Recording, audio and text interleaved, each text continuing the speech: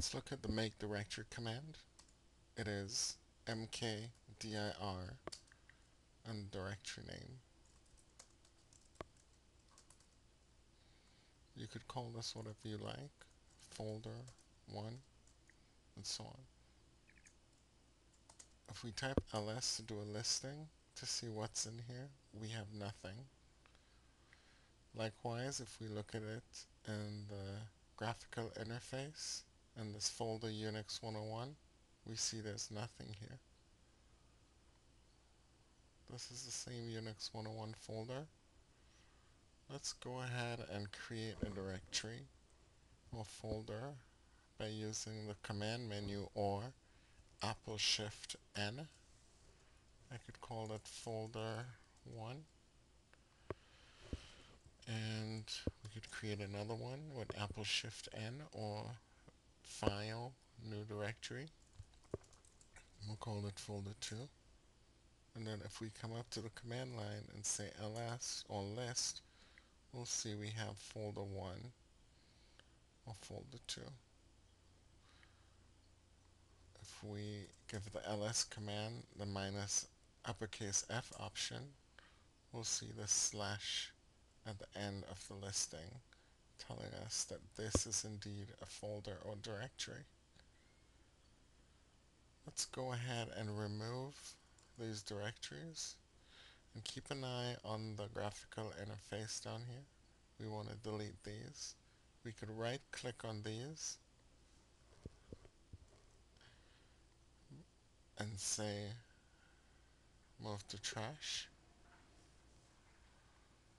but we're going to go to the Unix command prompt and say remove folder 2 that says rm folder 2 is a directory.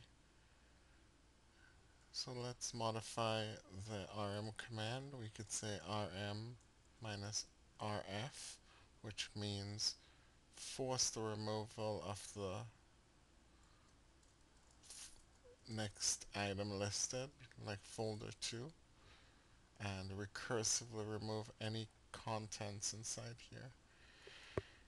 This is a very dangerous command, and it's better not to use it.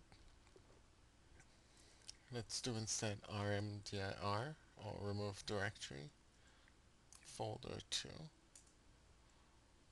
and we see that there was no error this time. Let's use the dangerous command to remove folder 1. And if we do it dir or ls in this case, we see there's nothing. Notice dir gave us a command not found because it's not really a native Unix command. We could make dir the same as ls using the alias command We'll talk about that later. But for right now, just notice that when we do a listing, it returned nothing, as opposed to up here when we did a listing, it returned the two folders.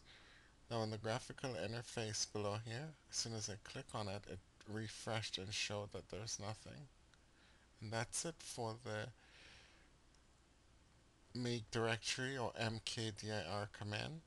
If you'd like more information, do a man to see the manual page on MKDIR with the description, the usage, and options.